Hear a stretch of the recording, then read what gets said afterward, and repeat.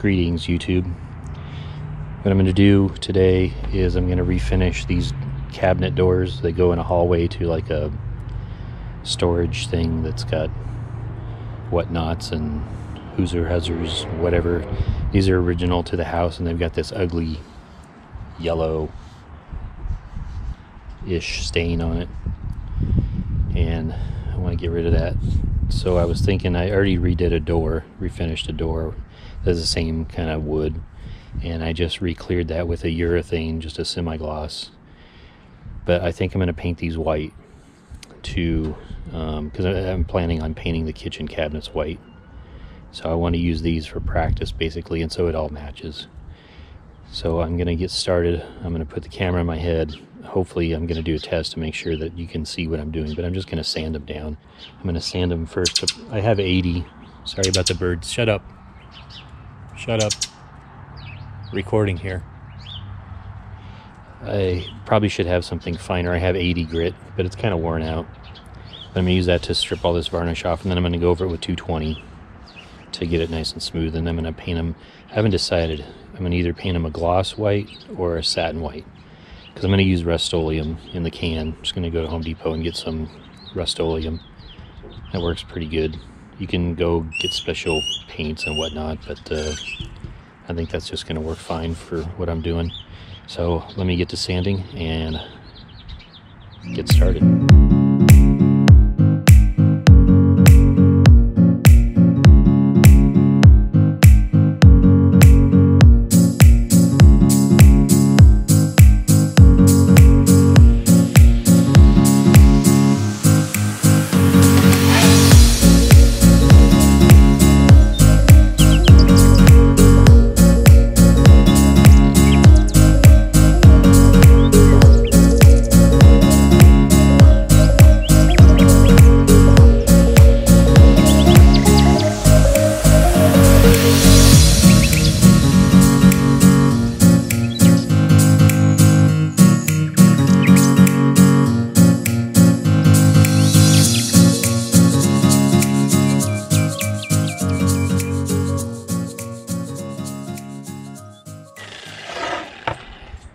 As you can see that uh, using a Porter cable dual action sander that makes pretty quick work of that new day. And I didn't film all the the uh, sanding here.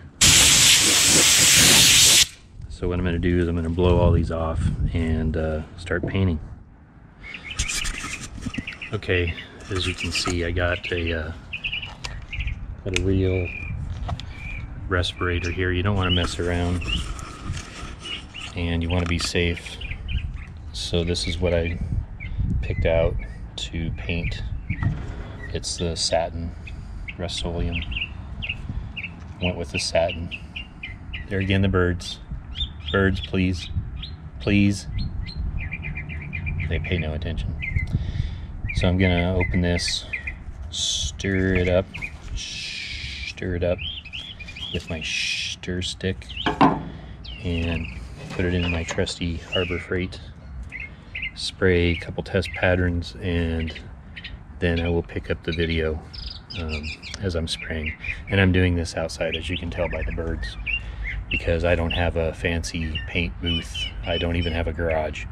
But I just want to show that this is possible. You can get a nice finish. There may be some dust and dirt flying around, but it's negligible and it's manageable and kind of moved out beyond the trees hopefully so none of the leaves will fall down on my work. So fingers crossed. And if it does I can just sand it out and redo it. So I'm gonna pick up I'm gonna put my Darth Vader mask on and pick up uh, after I test spray a little bit with my gun here, I'm just gonna stir it up. I'm sure you guys really wanted to see this step. This paint doesn't really look like it needs much stirring, but I'm gonna do it anyway. It's pretty consistent. It's a little thick. So what I'm gonna do is I'm gonna pour it into another container. I'm gonna thin it down with a little acetone. That's what you're supposed to thin this with is acetone. Is a little, a little thick on the bottom there, so I'm gonna stir it for a couple minutes here. Of course, I'm not gonna make you watch me stir it for a couple minutes, so I'm gonna stir it and then I'll come back. Okay, so it's been a bit of a break between the first part of the video and now because I don't do this as a living, so things get in the way maybe someday, you know, guys watch my videos enough and really get into me. I can do it all one shot. But for now, I had to stop and do some other stuff. So where I'm at now, I don't have a lot of paint left, but I've got a couple layers on the cabinet doors and it was a little rough, so I sanded them down with some 220, smoothed them out. I'm going to put one last coat on of this, uh, the Rust-Oleum satin white. And I'm doing a like a hallway closet door in preparation for um, respraying all the kitchen cabinets. This is like a budget if you want to, um, you know, revamp your your kitchen and you don't want to spend a lot of money. All this stuff here you know, I'm making mistakes for you so you don't have to do what I did and screw up. And hopefully, uh, rubber gloves. Found some there in short supply. Not going to tell you where. Uh, but this stuff is not expensive. That was $10. You can buy this Harbor Freight gun for $10 if you get the coupon. Um, I did add a pressure regulator and a water trap. I just put the water trap on there just today. And of course, you're going to have to buy stuff like mineral spirits, xylene, acetone to clean and thin out the paint. And of course, you need a uh, compressor. I've got a, a 20, a 20 gallon. It's the the one from Harbor Freight I'd show you, but it's all dark in there. I'll put it in the description. Just look down there. So, major crime. Major crime happening. Breaking news. Lots of sirens. Okay, whatever. So I've got the, the panels. I'm going to take you over there and show you that. So after you get all this mixed up, you want to load your paint gun I didn't show that. It's pretty simple. Just pour the paint in there. You can use these um, filters here. Got those at Harbor Freight.